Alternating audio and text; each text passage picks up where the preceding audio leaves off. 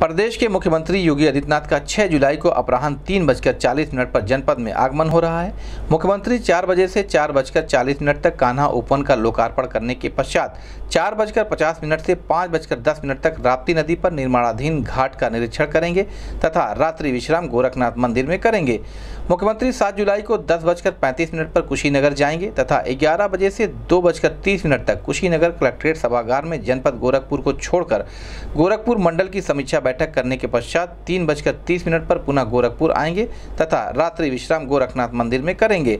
मुख्यमंत्री आठ जुलाई को प्रातः दस बजे अयोध्या के लिए प्रस्थान करेंगे।